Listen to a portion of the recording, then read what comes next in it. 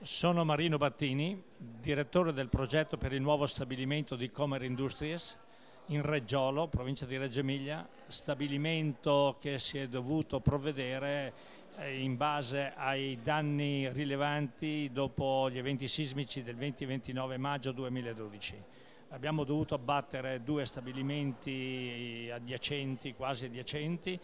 per eh, i danni subiti e abbiamo realizzato questo nuovo stabilimento. Per primo abbiamo delocalizzato una grossa parte di attività in locali esterni presi in affitto e abbiamo costruito, abbiamo riprogettato, progettato il nuovo e con particolare attenzione a quello che vuole essere gli aspetti di eh, risparmio energetico e gli aspetti ambientali, di vivibilità da parte degli addetti. Gli addetti sono 260-270 persone, lo stabilimento è stato progettato per ospitarne 360 perché prevediamo una crescita nel futuro che nel 2018-2020 dovrebbe portarci a saturare 360 persone. Quindi tutto quanto è già predisposto dai servizi agli uffici, a, agli spazi anche produttivi per poter arrivare ad una capacità produttiva circa il 40% superiore a quella pre-terremoto.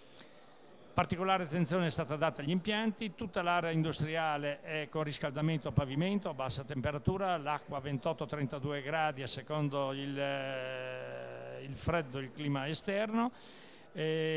azionate da pompe di calore ed eh, con due caldaie di riserva in caso di emergenza. Il raffrescamento viene attivato con dei built-in convettori ed abbiamo imposto particolari soluzioni tecnologiche proprio per poter risparmiare il più possibile di costi energetici. Tutta l'illuminazione dell'area industriale, uffici e quant'altro è con l'illuminazione a LED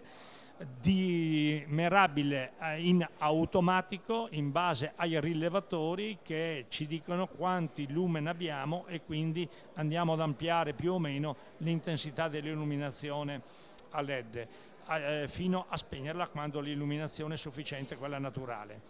Abbiamo anche quello che vuole essere dispositivi che in periodo estivo ci aprono in automatico i, le finestrature quando la temperatura esterna è inferiore a quella interna, quindi raffreschiamo di notte l'ambiente e al mattino le pompe di calore che devono generare il freddo per la climatizzazione estiva, anziché partire alle 7 del mattino, partono indicativamente alle 10.30, 11, quindi risparmiamo circa 3 ore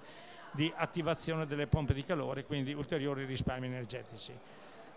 Questo nell'ottica di quello che vuole essere una climatizzazione ottimale, un ambiente che possa essere ottimale e l'abbiamo riempito anche come finiture con parecchio verde interno proprio per poter rendere piacevole quello che vuole essere l'ambiente di lavoro. Lavoriamo, ma se lavoriamo in un ambiente piacevole forse riusciamo a lavorare anche con più soddisfazione e con più attenzione e qualità in quello che facciamo.